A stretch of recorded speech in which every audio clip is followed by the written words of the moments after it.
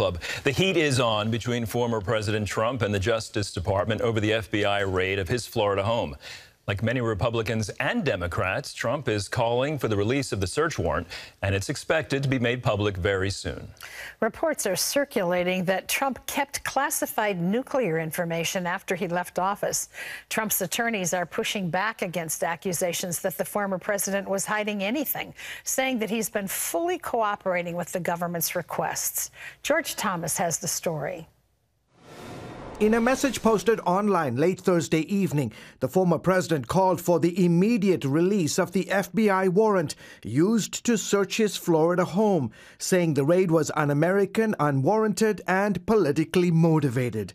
Hours earlier, Attorney General Merrick Garland, who said he personally approved the search, asked a court to take the rare step of unsealing the details of the warrant, despite a pending investigation. Garland making a statement without taking questions from the media. The department filed the motion to make public the warrant and receipt in light of the former president's public confirmation of the search, the surrounding circumstances, and the substantial public interest in this matter. Garland had been facing demands to explain the circumstances surrounding the raid on Trump's Mar a Lago residence Monday. The Attorney General has faced mounting pressure in the last few days uh, from Republicans and Democrats alike. Republicans have been rallying around Trump following the FBI raid, criticizing the Attorney General for personally approving it. South Carolina Senator Lindsey Graham tweeted The primary reason the Attorney General and FBI are being pushed to disclose why the search was necessary is because of the deep mistrust of the FBI and DOJ when it comes to all things Trump. Media reports say that Trump was subpoenaed earlier this year for taking classified material from the White House, as the government believed he was holding on to sensitive information with national security implications.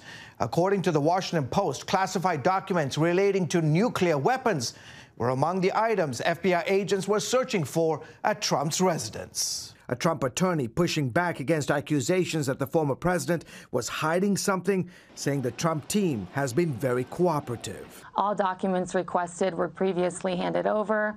President Trump and his team painstakingly reviewed every single document at Mar-a-Lago and gave the government what they requested.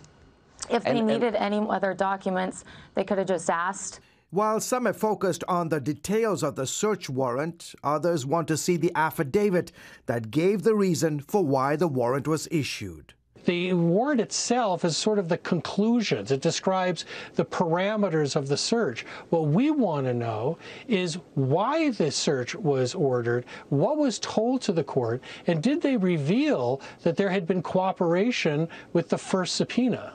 Now, with the former president himself encouraging the release of the warrant and the growing leaks to the media about why the search was ordered, Americans should soon learn more about why the FBI carried out an unprecedented raid on the home of a former president. George Thomas, CBN News. What a week. What a week in Washington, D.C. And of course, over recent months, as many Republicans are trying to decide, you know, should Trump run again? Should he not? Is it time for some fresh blood? I don't think there's any doubt right now that Trump is a leading contender because of what David Brody, our chief political analyst, said just a few days ago on this show. Trump has become a sympathetic figure to many who would never have thought of him that way just a few weeks ago. Well, in other news, congressional Democrats are set to pass their major economic bill today over very strong Republican objections. And Efrem Graham has that story from the CBN Newsroom. Efrem? Andrew, Democrats are set to pass the bill through the closely divided House of Representatives today. The measure focuses on more spending on issues like climate change and health care subsidies. It also includes more than $3 billion in new taxes on businesses. Democrats are hoping the bill will be a political win for them going into the midterm elections. And with inflation as the top issue going into those elections, Democrats have named the bill the Inflation Reduction Act. But a poll from YouGov found 36% of those surveyed believe the measure will increase inflation, while only 12% said it will decrease inflation. Studies by independent analysts have said the measure will have no real impact on inflation. Major American cities face a perfect storm. Violent crime is growing, and law enforcement agencies are struggling to keep officers on the job. In an unprecedented move, police departments are bringing faith to the front lines, working to build stronger and safer communities. CBN's Brody Carter brings us this story. 7886. In Gresham, Oregon, Sergeant Travis Garrison says a crime spike is forcing his department to choose which calls and crimes they can send officers. We're only able to investigate murders. Um, we'll routine, routinely respond to shootings, um, but if the person is going to survive, we are not going to follow up on that. Triaging or prioritizing first responders is becoming commonplace. In Philadelphia, police disbanded its abandoned car unit, while in Los Angeles, police cut their homeless outreach and animal cruelty teams. This is going to take years for us to recover from, and my hope is that the, the people that I work with, that they stick it out. As a growing number of police walk away from the job, violent crime still surges in several major U.S. cities. As a potential solution, departments are now turning to houses of worship. They're hoping faith will help reduce this trend. That there is a power greater than ourselves that is in control. Tuesday, more than 25 law enforcement groups joined prominent faith leaders on Capitol Hill, inviting communities to participate in the National Faith in Blue Weekend. Dr. Reverend Markel Hutchins, head of Movement Forward, started this event about five years ago in Atlanta. He knows firsthand that one weekend can spark change. With crime and violence escalating, with our communities under siege and under attack, our best march at this moment is not against law enforcement, but it's with law enforcement. And that's what faith-based faith-based uh, communities are positioned to do. In early October, Faith in Blue will seek to reinvigorate police community relations through town halls, peace walks, picnics, and other activities nationwide. That's what this is all about. It's all about activating local communities to raise the voices of the silent majority. Chief Patrick Ogden sees these partnerships as key to building stronger and safer communities. Policing uh, is much greater than law enforcement. The enforcement piece is just a piece of what we do, and we can't arrest our way out of this problem. So we really need to collaborate with leaders in the communities to try to do educational programming, outreach, try to uh, you know build that trust so people report crimes in a timely fashion, so that we don't just have crime going on and on and on. Brody Carter, CBN News. Turning overseas now to the Middle East, when it comes to the heart of the Palestinian Israeli conflict, the same question of whose land it is keeps coming up. As Chris Mitchell reports from Jerusalem, a new documentary goes back in history to answer this pressing question. For many around the world, including the United Nations, Israel is an occupier on land stolen from Palestinians.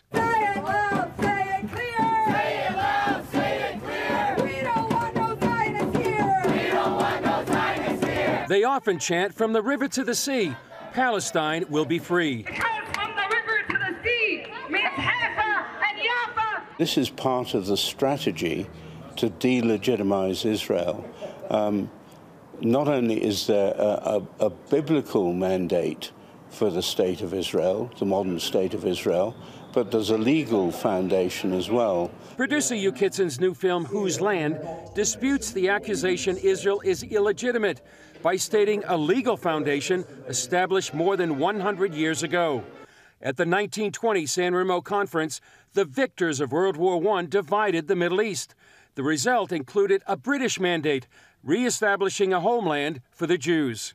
The preamble states whereas recognition has thereby been given to the historical connection of the Jewish people with Palestine and to the grounds for reconstituting their national home in that country. I believe actually what happened at San Remo and in the mandate back in the early 1920s was God putting the title deed of the land of Israel to the Jewish people and enshrining it international law. Colonel Richard Kemp, former commander of British forces in Afghanistan, narrates the film. You frequently get the narrative that Israel has no legitimacy. Israel is occupying territory.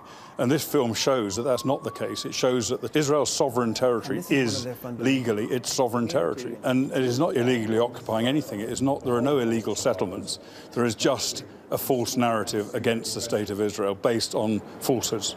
Camp adds many Jews and Christians need to know the true story of Israel's legal right to the land. And I think this story, this film, plays a major role in educating people about the truth and about what the reality is compared to the narrative that is shoved down everyone's throat by the media, by some human rights groups, by the United Nations, by the EU, and various other international bodies. The film cites other experts, including international law professor Avi Bell.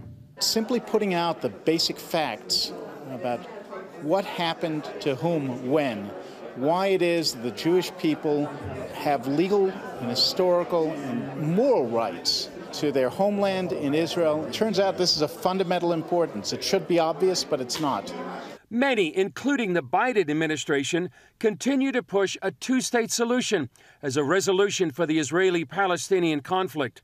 The long history of Palestinians rejecting this proposal leads Kemp to believe it's not what they want. In the meantime, he says, the campaign to delegitimize Israel carries global implications. Not only does it affect Israel, it, it, it kind of discredits Israel's reputation for those people who believe it, but it also fuels and incites Jew hate around the world. And we've seen examples of that in the United Kingdom, in the United States, and other European countries, mm-hmm. all fueled by this anti Israel narrative based on lies. Chris Mitchell, CBN News, Jerusalem. History holds the truth and the answers. Andrew? All right, thank you, Efrem and Chris. And to find out where you can see the documentary Whose Land Is It, you can go to our website, cbnnews.com, and there's more information for you there. Well, I'm sure you know the children in America spend a huge chunk of their day staring at screens on their phones and other electronic devices. And for some, it's an addiction that can follow them into adulthood. That's why one mother took a drastic step and pulled the plug on her children's devices. Jenna Browder brings us the results of this family's digital detox. It's the day and age we live in. Technology rules, and sometimes we just need a break. And that's especially true for kids. We had noticed some behaviors in our kids after screen time that we didn't really like. Just ask Molly DeFrank, mother of six, all under the age of 12. And it wasn't until we fully pulled the plug on all of their screen entertainment cold turkey, we gave them a break. And it wasn't until we did that that it was like removing a filter from our kids we finally got our kids back. And ever since we have made that decision, I've been helping other parents do the same thing. Her new book, Digital Detox, begins by taking parents step by step through a two week cold turkey detox for their kids. Talk to us a little bit about some of your strategies to you know, cut back on screen time for parents. I think a lot of parents are kind of at a loss. They don't know what, what to do here. You're absolutely right. You know, most of the parents I help are great parents of amazing kids, and they're already working to monitor their kids' screen time. They're taking away time for bad behavior, they're adding some back, and they're finding it still not working. Molly says it comes down to brain chemistry. Too much screen time creates excessive levels of dopamine in the brain, the kind that can be addicting. And for kids, it's a problem that can follow them well into their adult lives. What you're actually doing is you're resetting your kids' dopamine levels because when they're scrolling, when they're playing, when they're tapping, their their dopamine levels in their brains are excessively high. So real life can't compare. That's why they're complaining of boredom. But when you give them this two week window to reset those levels back down to real life, you're giving them time to rekindle a love of, of real life activities. Things like playing outside, arts and crafts, reading and writing. The second half of the book helps parents come up with a long term strategy using their observations from the detox period. So, how often should families do a detox? And it's going to be unique for every family and child. So, once you kind of get that calibrated right for your kids and your family, um, you should be good for a while. But th- there have been families who it's gotten out of place again and they've done another detox. And this is great. In fact, a lot of these Silicon Valley engineers and CEOs they'll give themselves dopamine breaks too. So this is very it's yeah. science based and the results are really really the proof's in the pudding. Molly says for most families like hers, it's not about eliminating technology, just making sure it's in its right place. And most parents find pretty much every parent who's reported results back to me has said that their kids get along better, they find new real life productive hobbies and they're happier their mental health is better. It's just across the board beneficial to these kids. Her own kids are a testament to that. In just two weeks, she says they were free from the grip of technology. Mood shifted, creativity exploded, and they learned how to entertain themselves and enjoy life without screens. And yours can too. Molly says it can be difficult at first, but giving your kids a break from technology is something that will pay off for them and the entire family for years to come. In Washington, Jenna Browder, CBN News. Thank you, Jenna. Great story. You know, I, I, have kids, so I can say this. I think a lot of this just really starts with us as parents. If you're a parent like me that sometimes has been scrolling my phone and turning to my kid and saying, why are you still on your phone? I mean, that's, that's where it starts, right? I mean, I took a little grief from some people in my family because I put some time limits on some apps and internet, you know, time I can have. Just a reminder goes off gosh, okay, I've been on this for 15 minutes a day. Like, it does bring you back to how much time am I spending on this app or device? And if our children see us on our phones constantly, what can we really anticipate or expect from them? So, as we're looking at having device control for our kids, uh, we as parents should do the same, right, Terry? It's true. Well, you know that for a lot of us, our phone is both personal and business. Yes. And mm-hmm. so we're raising a granddaughter, and I find myself doing the personal. And then when she'll come over to me later in the evening, I'm really doing business, but she doesn't discern between the two. So you're right. We really need to be wise about how we utilize them. I often find myself doing the business and then, oh, let's do yeah. the personal. And then, like, the next thing you know, Facebook. Yeah, next, did the same stuff that was there yesterday. You know? yeah, exactly. People, here's my memory. I don't want to. Yeah. Okay. All right. Well, let's let's all try and discipline ourselves. Indeed, indeed. Natalie Valcarcel wasn't pregnant, but she definitely looked like she was. For more than five years, Natalie had a massive fibroid tumor inside that kept growing and growing. Eventually, it reached 18 pounds and threatened to end Natalie's life. I had been having pain in my stomach, and it would be so bad that it would kind of put me to the floor. Doctors couldn't find the source of Natalie Valcarcel's occasional but intense bouts of abdominal pain. In 2005, two months before her wedding, one of those attacks sent her to the ER, where an ultrasound revealed a three centimeter fibroid tumor on her uterus. She assured me that Women have this all the time and that it's not a big deal. So since she didn't worry about it, I didn't worry about it either. But the tumor started causing more and more discomfort. So, months after her wedding to Paul, she went in for surgery to have it removed. 30 minutes later, the surgeon came out to tell Paul the tumor had grown from 3 centimeters to 15. She showed me two photos and it looked like the size of maybe like a cantaloupe. And she points to this little bump on this cantaloupe looking tumor and says, You see that little bump? That's actually her uterus. The tumor is completely encompassing the uterus. So she says there's just no way to be able to remove the tumor without having to move, remove the uterus. They stopped the procedure and the couple went home to discuss whether to go through with the hysterectomy. A few days later, her doctor called, insisting that it was her only option. Don't hold on to any hope for having children. It is impossible. And this tumor needs to be removed. It's very dangerous. We just need to do this hysterectomy. Right when she told me that, I hung up and I was mad. I was angry. I didn't like that that was being taken away from me. I went to the Lord right away and I said, God, what is your will in this? What do you want? What do you want to do? I told Natalie, I said, you know, I can believe the Lord will take this tumor completely away. However, He wants to do it, however, He's going to do it. You have to decide for yourself what you're able to, to believe for, and I'm going to believe with you. Natalie says God reminded her of Psalm 128, the blessing that was read at their wedding. She looked it up, and one verse stood out. Your wife will be a fruitful vine in the innermost parts of her home, and she will see her children around her table like olive plants. And then I was like, that is for me. And I held on to it, and I didn't let it go. Natalie declined the hysterectomy. For the next five years, the couple tried to get pregnant as the tumor continued to grow. It got so large, people thought she was pregnant. I would just say, no, I'm not pregnant. It's a fibroid tumor.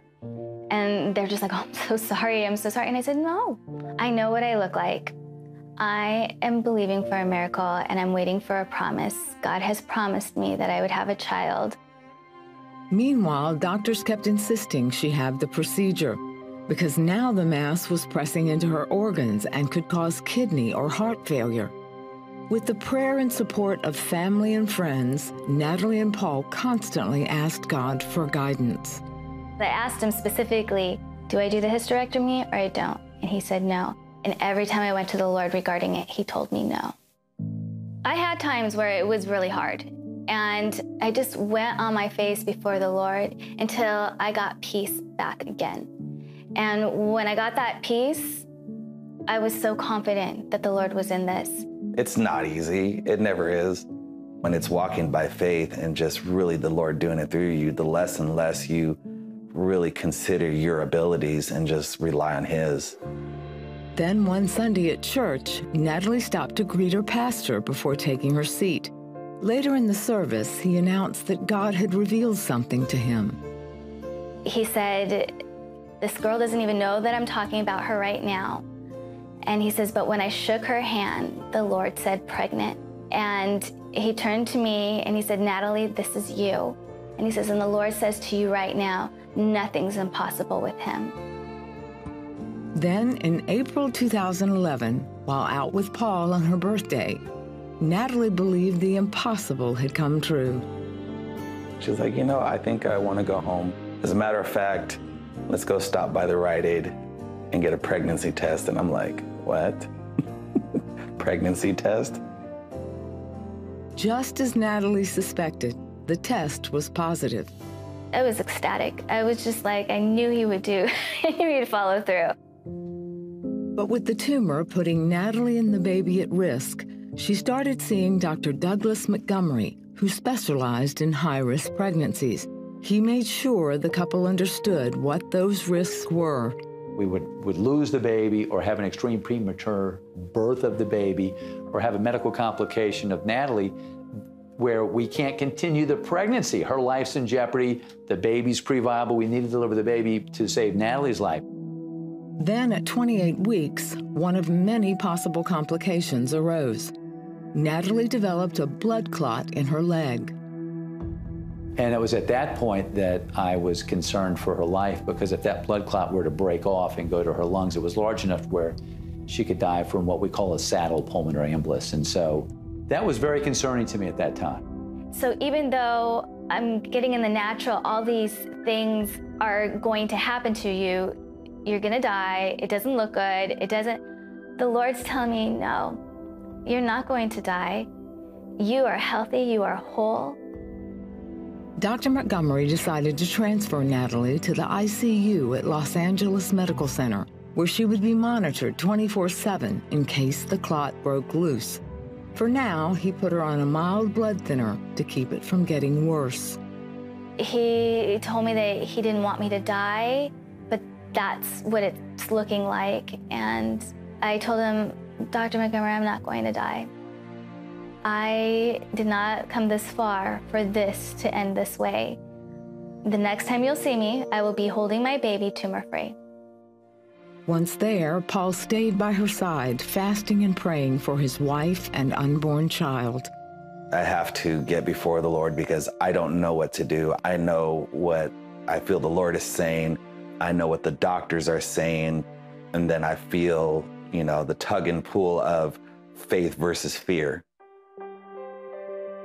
After two weeks, one of Natalie's doctors came in with results from an ultrasound. The clot was gone. So when she told me, oh, that heparin must have worked, and I said, but you told me that it would not take the blood clot away. You told me it would just keep it from getting bigger. And she's like, I don't know. I don't know what happened. And I said, I know. It was God. On October 19, 2011, Heaven Faith Valcarcel was born via C section, weighing 3 pounds 13 ounces. She was so real, and it was so God. It was very surreal. This has been done completely by His promise. It was impossible in the natural, but in the spirit, it was possible. Just being a first time dad, being with a little girl, it was, you know, it was awesome. Two months later, Natalie had the hysterectomy to remove the tumor, which had grown to 18 pounds. The real remarkable part of this is Natalie's faith, not through, through one pregnancy, but yet through five to six years, and then to take on all of the negative comments that come on with all the risks that she had to face. And I really am struck by how God worked through her and brought that. She built my faith during this. Heaven is a healthy little girl who loves Jesus. For Natalie and Paul, she's living proof that God hears their prayers. We believe in a God who has done greater, and you know, He did it in Jesus, and He just says, just believe me, just trust me, see me, know me, because we can't do it all on our own. Jesus is the answer to everything. And because I know I can trust in his promises, I trusted him all the way. He is the only one who can pull you through something like this. You know, it sounds so simple, doesn't it? She's right. Jesus is the answer to everything, but sometimes it's hard to hang on to that. I just look at her in the middle of everything she's hearing from professionals, and yet she stands on the word that God has given her. We want to stand with you today for whatever your need, whatever your situation might be. You know, there is power in the word of God. And one of the things she said that is so key to me to finding your healing is trust him. Trust him. Trust him. Mm. Don't trust even yourself. Trust him because he is the one who has the ability, the capacity, the power to change your situation. So grab hold of a word if it's given to you. Grab hold of faith as people are praying for you. That's what Andrew and I want to do today. We want to pray together with you for whatever your circumstance might be. And we have some answers to prayer to further build your faith. This Louisiana, she was recently diagnosed with breast cancer and prepared for the surgery. Then her husband, Willie, called CBN's prayer line. He received prayer for Gladys' complete healing and speedy recovery. When Gladys had the surgery, the doctors were stunned. There was no cancer to remove, and the couple gives all the glory to God. Amen. Amen. Here's Antoinette of Greenfield, Indiana. Had a serious issue with her eyes. Treatments included getting shots in both eyes year after year. Oh, my. Listen to this. Even so, she still completely lost her vision. She decided to call the CBN prayer line for intercession, and after praying with CBN, she called back five days later to report she can now see again. Her sight is restored. Really? It's like something you read in the Gospels, isn't yes, it? That's wonderful. Well, let's pray. I just, uh, yeah. I, I know the Holy Spirit wants to do great work today. And Terry and I want to pray for you. It's our privilege, and please join with us. Father God, we come into your presence with thanksgiving, with expectation, some of us with desperation and others with joy. Lord, you know the condition of all our hearts, and we just pray your Holy Spirit moves now in the name of Jesus. We pray in Jesus' name. There's someone who uh, has so much trouble hearing. You have this show on such a high volume, other people would just not even understand why you have the volume up so high. And the Lord's going to heal your hearing now and restore it. And you're going to be quite taken aback by this. But just receive that. The Lord is working in your ear right now in Jesus' name. There's someone named Marion. I I don't know what your request is, but you have been crying out to God for some time for a specific thing. In fact, this is not a woman. This is a man whose name is Marion. And God is wanting you to know that answer is on its way. It's already in process. Just begin to praise Him for it and thank Him for it one with such despair that now um, you find yourself consuming alcohol in the mornings. It's just, you're just so desperate and feel so unworthy because now your drinking addiction is, is now uh, starting in the mornings as you start your day and you're scared. And greater is, you're a believer, greater is He who is in you than is in this world. Jesus wants to deliver you from this, and He wants to do it in a joyful way hand in hand with you in the name of Jesus. Just lift your hands to Him. Do not fear. He wants to deliver you from this, and He is delivering you from this addiction alcohol in Jesus' name. Thank you, Lord. Yeah, I feel like on the heels of Andrew's word, there are, there are numbers of you who have addictions. You are believers, and you are so. Uh, You're so disappointed in yourself. You're so disgusted with your situation. Today, be set free. Reach up right now. Just take the hand of Jesus as he touches you, frees you from that addiction. You'll have it no more. Jesus said, The one the Son sets free is free indeed. And today, that is yours. Take it and begin to thank Him. Coming against a spirit of suicide uh, for one who believes this is an actual option now. You've been looking at choices on how to handle something, and you're looking at suicide as an option. The Lord speaks life over you today and not death. And so do Terry and I. We speak life over you in the name of Jesus. Just receive His Spirit who wants to fill you up now with hope.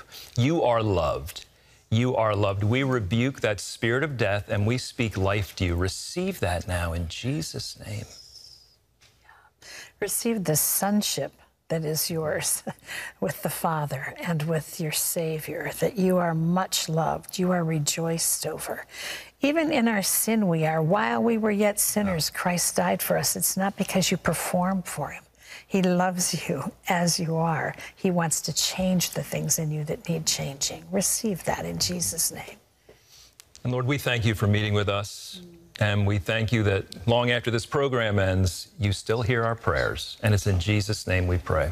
Amen. We want to remind you if you've had an answer to prayer or you'd like prayer, you can give us a call at 800 700 7000. CBN is built on a foundation of prayer, and we want to pray for you and hear your good reports. Welcome back to the 700 Club for this CBN News Break. The school board in Fargo, North Dakota has voted to stop saying the Pledge of Allegiance before its meetings because it isn't, quote, inclusive. Board Vice President Seth Holden said, given that the word God in the text of the Pledge of Allegiance is capitalized, the text clearly is referring to the Judeo Christian God, and therefore it does not include any other faiths, such as Islam, Buddhism, Hinduism, all of which are practiced by our staff and students. He added it also does not include those who don't believe in God. You can find out more about this story at cbnnews.com. In addition to sending aid to victims recovering from the devastating floods in Kentucky, CBN's Operation Blessing also helped to provide help to the elderly after flooding in Virginia. Buchanan County was hit hard with torrential rains back in July. The flash floods left huge amounts of mud and debris under Mrs. Beulah Lamey's mobile home. That was a risk to the trailer's foundation and prevented the power from being restored. Operation Blessings disaster relief team and volunteers diligently cleared the debris to protect the structure and make the home accessible to restore electricity. Beulah's daughter, Julie Clifton, said there were things under the trailer they would have never been able to remove without that help, and she thanked God, saying, without Operation Blessing, quote, I don't know where we would be right now. You can learn more about Operation Blessing by visiting ob.org.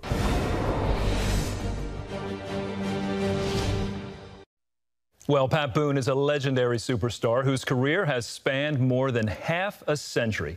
In the late 1950s, he was a teen idol rivaling Elvis Presley hit for hit. Over the years, he has sold more than 45 million records, had 38 top 40 hits, and appeared in more than 12 Hollywood films.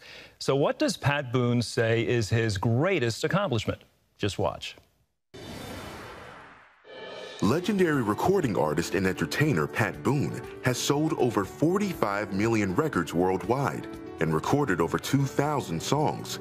He has starred in major films and hobnobbed with celebrities, presidents, and prime ministers. Despite his awards and accolades, he says his greatest accomplishment was made in his 30s when he embarked on a spiritual quest. In his latest book, If, Pat shares the simple truths that he discovered on his journey that can help you in making the biggest decision of your life. Well, it is our pleasure to welcome back a dear friend of CBN and the 700 Club, our dear friend Pat Boone. Pat, welcome back. Hello, Andrew. Good to talk to you again. On the channel I consider the most important television channel in the world. And I don't say that, you know, in an exaggerated way. I believe it. We are the light of the world in this channel. Well, we appreciate that, and we appreciate you being with us. Look, Pat, we have barely scratched the surface of your amazing, legendary career. So, looking back, what do you believe is your greatest accomplishment? Well, greatest accomplishment is, I think, my marriage of 67 years uh, raising four beautiful daughters, and now having 16 uh, grandkids and over 17 uh, great grandkids. And in Hollywood, California, making movies and all that stuff in the entertainment field what is really, and it was only with the Lord's help right by our side and in our home that made that possible. So I feel my wife is in heaven waiting for me right now. I uh, am looking, I'm excited about joining her before long. and so that is the greatest accomplishment. And it's the only accomplishment really that matters. Yeah, well, it's been an amazing career, as we said. Let's go back a bit. Let's go back to 1960. You're in Thailand, and you saw something that had a profound impact on you. What was that? I saw three Buddhist monks immolating themselves, that is, burning themselves alive in a like a city square with crowds of people all around watching. And, and I couldn't say hear what they were saying, but they were burning themselves alive. So I asked the Thai guide, what, what's this about? He says, Well, I don't know, but they're making a plea of some sort for something that they think God wants, perhaps to feed the poor. We don't know. And they can't, can't explain it anymore because they're burning themselves alive. And I must say, uh, I, I remembered 1 Corinthians 13 if I give my body to be burned and have not love, it profiteth me nothing. And I thought, are these, these three Buddhist monks doing this for nothing? But it's their faith, it's what they were taught. Are they, they're obeying their faith. And it made me question my own faith. Do I have that kind of faith? Do I believe what I believe just because I was taught it? And I allowed myself at that time to go back to ground zero, as I recount in the book, and just start not believing anything and, and asking first, how do I know there's a God? Well, it didn't take long to settle that because I could look around and see all the evidence that uh, th- this all didn't just happen. There had to be, as Einstein and Hawking have now manifested, there is a spirit abroad, there is an intelligence we don't understand. Therefore, we just concentrate on the science that we can. They can't they can't pronounce a three letter word, God, as bright as they are. But I settled it for myself God exists. Then is the Bible his divine word. Can I prove that? And I do and did. And then finally, is Jesus the Son of God? And and if both God and His Word say He is, and He said He was, and He proved it over two thousand years, uh, then I knew I was on solid ground. And I pitied and prayed for those monks, but my own faith was soundly secured. Uh, from that experience. And so, Pat, your new book is very compelling. It is called If. It's a uh, very fascinating title for a book, for a memoir. Why the title If? Well, for one, you cannot ignore this. if you see it on a bookshelf at a truck stop or wherever, looking for a book to read, uh, you're not looking for a religious book, probably. If it says religious, you won't read it. But the corners of the book which I designed, look like they're they're singed, like it was lifted out of a book burning.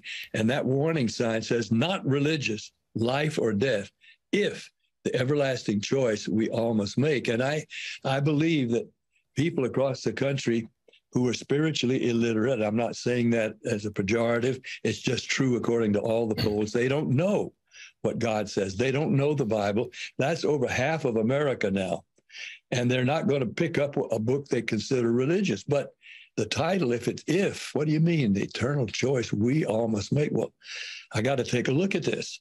And that's what I hope they'll do. They're the people, over half of Americans who don't believe anymore, don't hardly know what to believe they're the ones I'm trying to reach with the knowledge, the warning that they are making the choice about eternity now, whether they know it or not, whether they intend to or not.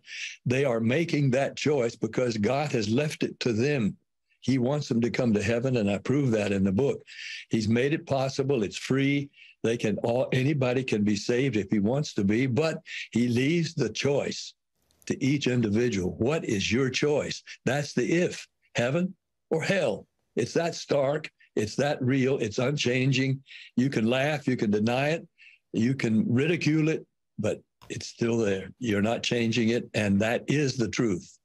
And Pat, in your book, it, it comes across very clearly your concern for people and their soul. I mean, it's very compelling reading. Look, something a lot of people may not know about you, you've had more than 300 baptisms in your swimming pool, including, I understand, an 81 year old woman. Why do you baptize people? Well, because Jesus said, if he that believeth and is baptized shall be saved. That 80 year old woman, uh, Mary Nelson, uh, was a Methodist, but she'd never been baptized. And she read my book, one of my books about baptizing people in our pool. And she had somebody contact me and said, Would Pat Boone baptize me? I don't know if I'm saved. She came to the door. She's a sweet little lady, white haired. I sat down with her. I said, Mary, isn't it wonderful to know that you belong to Jesus? And she teared up. She says, I don't. I don't know. That's why I'm here. and I, I hope if I'm baptized, I will know. I said, Mary, Will you believe it if Jesus says it? He that believeth and is baptized shall be saved. You believe, don't you?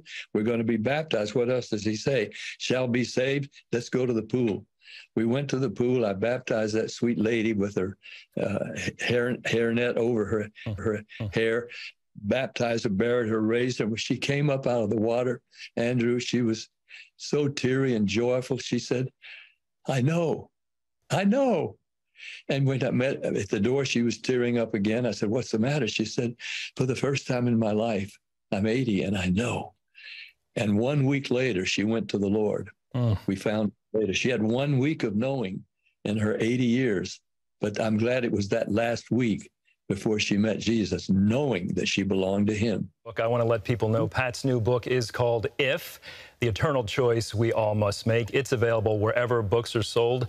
And Pat, we want to thank you so much for being with us and being such a great friend of CBN and all the best in, in your future. Ah, thank you, Andrew. Stay with us. We'll be back with more of the 700 Club right after this. Dilawri was cooking when the edge of her sari caught on fire. Her back and legs were severely burned. After that, I faced a lot of difficulties. I couldn't walk, my legs had shrunk, and the skin peeled off. I gave up all hope. Dilawri needed surgery, but her family couldn't afford it. Then the family heard about a hospital that partners with Operation Blessing. They reached out to us, and we paid for Delari's multiple surgeries. I can walk normally without any pain. I will be forever grateful to everyone who helped me get my surgery. CBN partners are changing lives. Your help brings food, water, and joy to families. Children learn, play, laugh, and smile again because you care. Partner with CBN. Please call 1 800 700 7000 or go to cbn.com.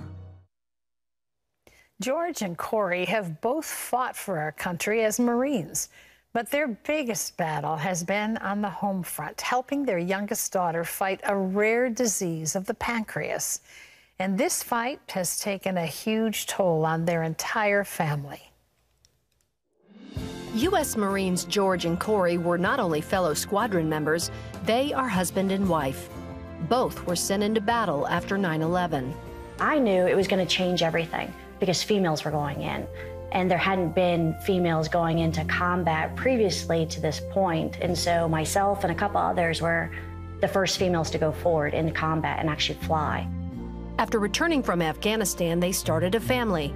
In 2018, George retired and began a new career. Just a few weeks later, their daughter Tilly was diagnosed with a rare disease of the pancreas and sent across the country to Boston to see a specialist living out of a hotel room for a month at a time, eating three meals a day is definitely, it definitely became a, ooh, because we're still feeding our three children at home. In addition to flights, hotels, and meals, the couple also paid for Corey's parents to fly to California to look after their other three children. We're still having to make sure that we've left everything in place for the kids to survive and to have what they need while we're still maintaining a whole nother household on another coast. Tilly stabilized and they returned home, but required multiple doctor's visits back in California, plus another trip to Boston. They prayed about what to do next.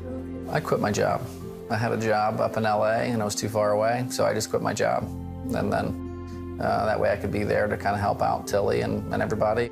That decision would mean a substantial loss of income. Thinking about finances was stressful if I have to take all my savings and all my money out of my IRA and everything else, like that was going to happen. Thankfully, the family didn't have to. because North Coast Church contacted Helping the Homefront. Tracy Moss invited the couple over to tell them CBN would reimburse the thousands of dollars they incurred due to Tilly's illness.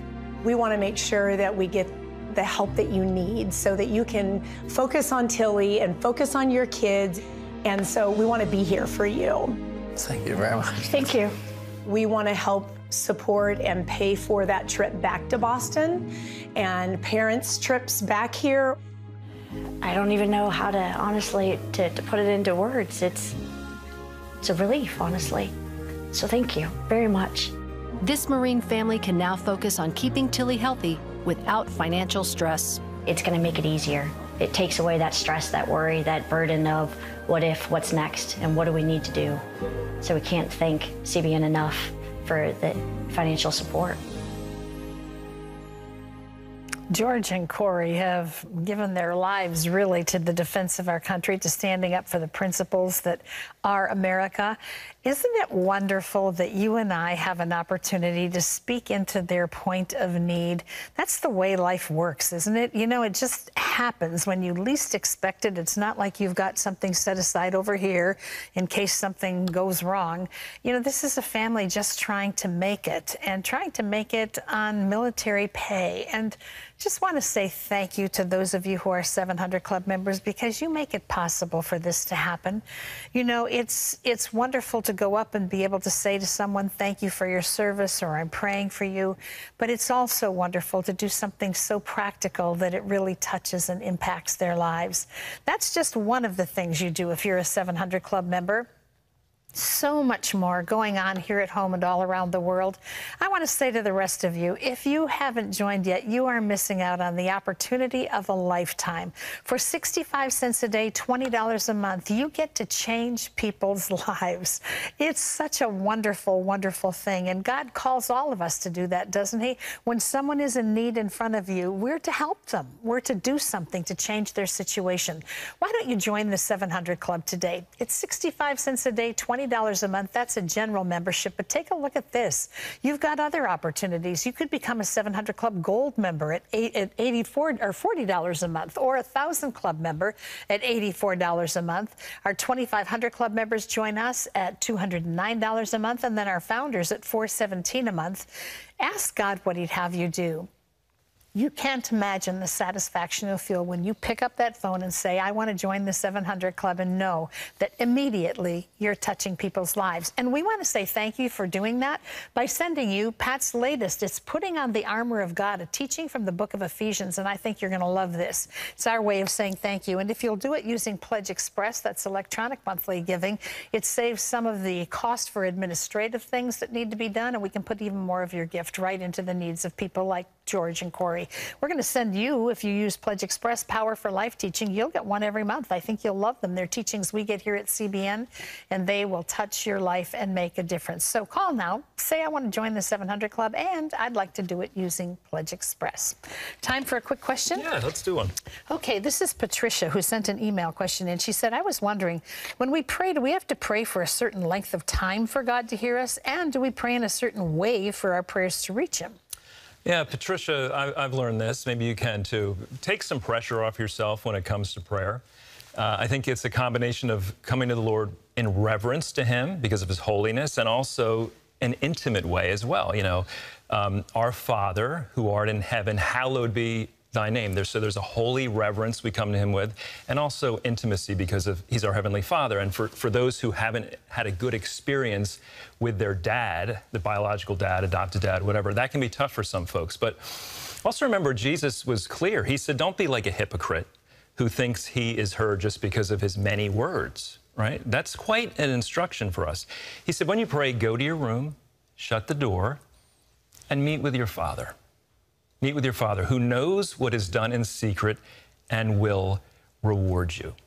You know, sometimes in my prayer life, I am just pouring it out and I've got, you know, things that are on my heart that are really concerning to me and it's all me, like expressing myself. Sometimes I just try and meet with the Lord and be in His presence and I'm quiet for a while and maybe waiting for Him to speak to me. I'll speak to Him.